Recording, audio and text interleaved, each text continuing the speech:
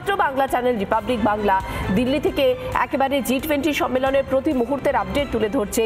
জি twenty সম্মেলনের প্রতি মুহূর্তের ছবি তুলে ধরছে ময়ূক এবং নানান প্রান্ত ঘুরে দেখেছে ময়ূক সেখানকার ছবি আপনাদের জন্য তুলে ধরছে। একের পর এক ছবি দেখাবো। এবার একটু দেখাবো মিডিয়া সেন্টারের ছবিটা ঠিক কেমন? মিডিয়া সেন্টারকে কীভাবে সাজানো হয়েছে ময়ূকের প্রতিবেদনে?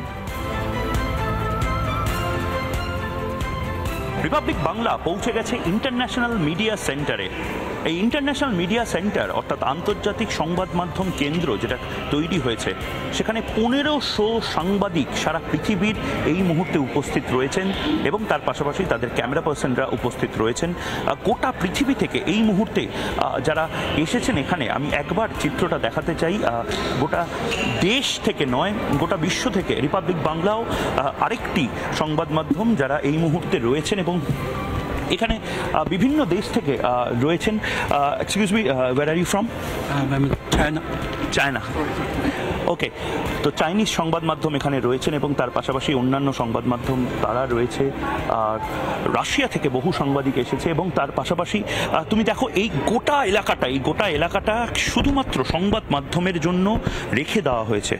বিভিন্ন জায়গাতে সংবাদ মাধ্যমদের বিভিন্ন যে লাইভ সেট সেই লাইভ সেট করে দেওয়া হয়েছে এবং জি টোয়েন্টির যে বৈশিষ্ট্য জি টোয়েন্টিতে কুড়িটা জায়গা থেকে প্রায় হাজারের বেশি এডিটার্স তারা এসেছেন এবং এবং তার পাশাপাশি মূল যে জায়গাটা আমরা সেই জায়গায় পৌঁছাবো সিকিউরিটির যে চেকিংয়ের জায়গা, সেই জায়গা আমরা দেখিয়েছি এবং তার পাশাপাশি এই যে জায়গাটা তৈরি হয়েছে, অর্থাৎ ভারতবর্ষের কথা, ভারতবর্ষের গ্রোথের কথা, ভারতবর্ষের বৃদ্ধির কথা গোটা গোটা পৃথিবী এই মুহূর্তে এখান থেকে বসে রিপোর্টিংটা করছে বহু সাংবাদিক যারা রয়েছেন তারা এই মুহূর্তে এখানে লাইভ ব্রডকাস্টের জন্য আয়োজন শুরু করেছেন এবং তার পাশাপাশি অত্যন্ত গুরুত্বপূর্ণ যেটা আগামী কাল থেকে যে জি টোয়েন্টি সামিট শুরু হচ্ছে, যে জি টোয়েন্টি সামিটের জন্য রাষ্ট্রনায়করা এখন থেকেই আসা শুরু করে দিয়েছেন।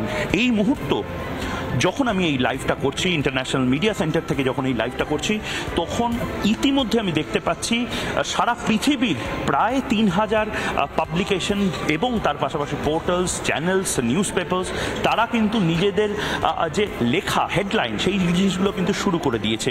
এবং তার পাশাপাশি আমি যেমনটা শুরুতেই চাইনিজ সংবাদ মাধ্যম রাশিয়ান সংবাদ মাধ্যম, তারা যেরকমভাবে এখানে কাজটা শুরু করেছে নিজেদের, যদিও শিনপিং বা পুতিন তারা আসছেন না এই মুহূর্তেও কিন্তু কিন্তু তাদের মূল যে এমিসারিজ যাদেরকে বলা হয়, অর্থাৎ যে প্রতিনিধিরা যারা রয়েছেন তারা এখানে এসছেন এবং তারা মূল যে ফিলোসফি অর্থাৎ কোঅপারেশন একটা বিশ্ব, একটা সলিউশন এবং একটা পৃথিবী, যে পৃথিবীটাকে আরও বেশি শক্তিশালী করতে হবে। এই যে ধারণা, এই যে চিন্তা ভাবনা সেই নিয়ে যারা এখানে এসে- এসেছেন এবং মিডল ইস্ট থেকে অনেকে এসেছেন, অনেকে মধ্যপ্রাচ্যের সাংবাদিকরা এসেছেন, কিছুক্ষণের মধ্যে এখানে এসে উপস্থিত হবেন।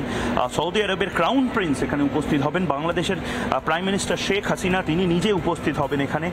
তাদের যে বক্তব্য এবং তার পাশাপাশি তুমি দেখতে পাচ্ছ এখানে যে আন্তর্জাতিক সেন্টার যেটা তৈরি হয়েছে, সেই সেন্টারে এবং তার ঠিক পাশেই সেই ঐতিহাসিক ভবন, যে ঐতিহাসিক ভবনটা এখন গোটা পৃথিবীর ভরকেন্দ্র হিসেবে চলে আসছে।